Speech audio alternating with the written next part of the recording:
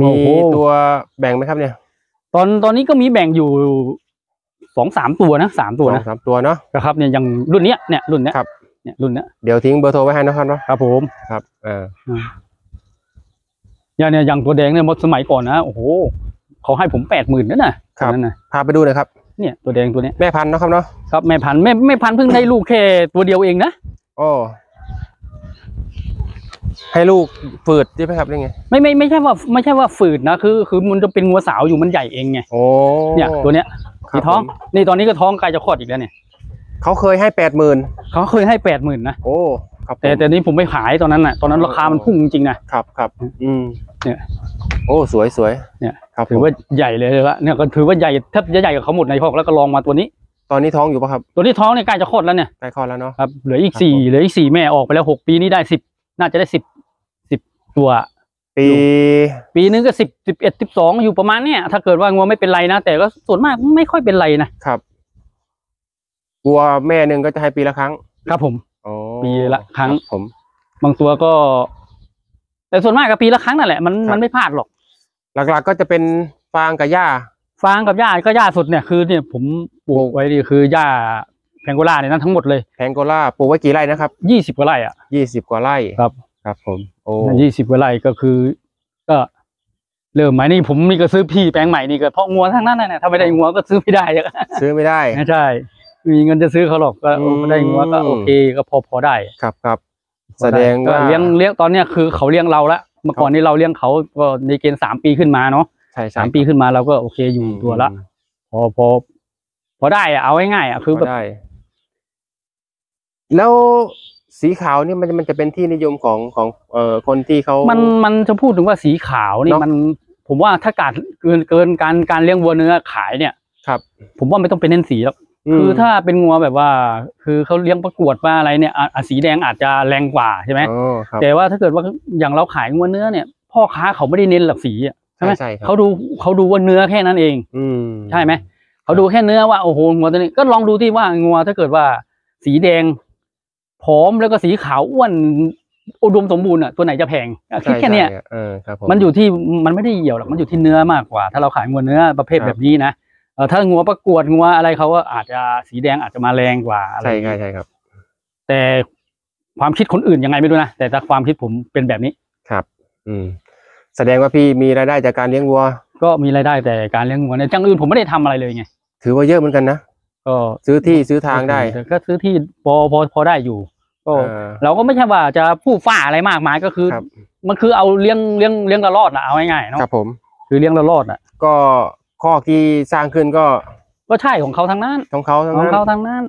จากวัวเนอะครับเนาะกลางวัวอ่าครับผม ของพี่ได้ขี้วัวนี่ได้ขายไหมครับ ก็บางทีก็มีพวกพี่น้องมาเอาบ้างก็ให้เขาบ้างมันมันไม่ได้ขายแล้วส่วนมากจะไม่ขายแล้ว ผมก็เอาไป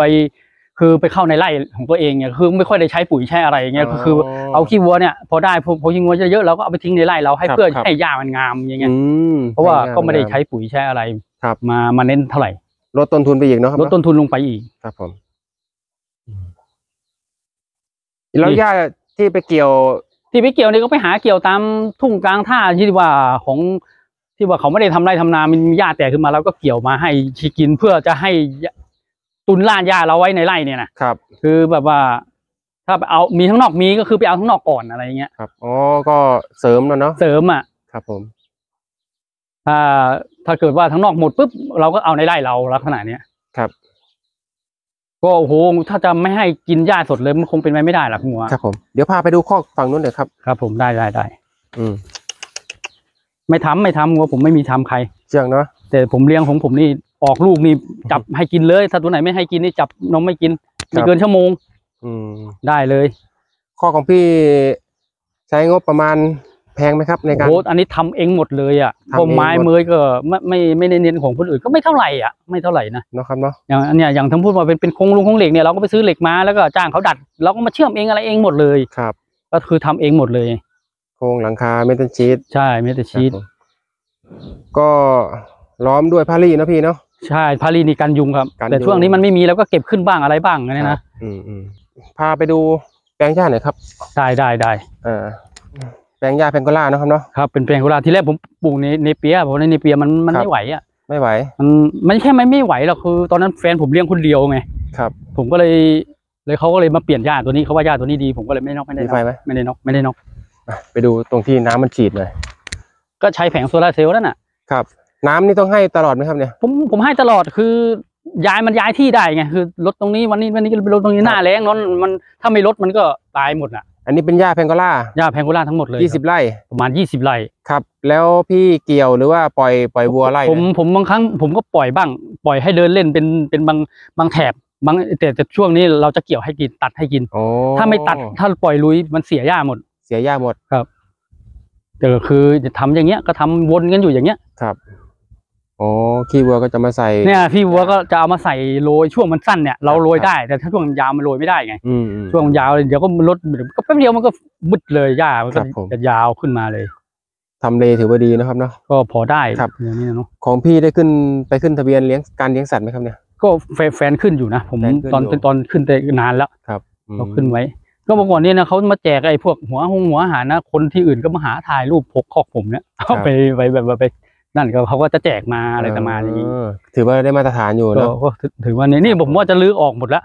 ลื้อออกแล้วก็ดันดันพวกไอ้ขี้นะออกมาข้างนอกครับออกมาข้างนอกให้หมดเลยให้มันแล้วก็จะทำใหม่ให้มันดีเนี่ยครับคือผมคือช่วงช่วงไม้มันจะเอียงเอียงเอียงเลยใช่ไหมมเราก็จะทำให้มันดีขึ้นมาครับ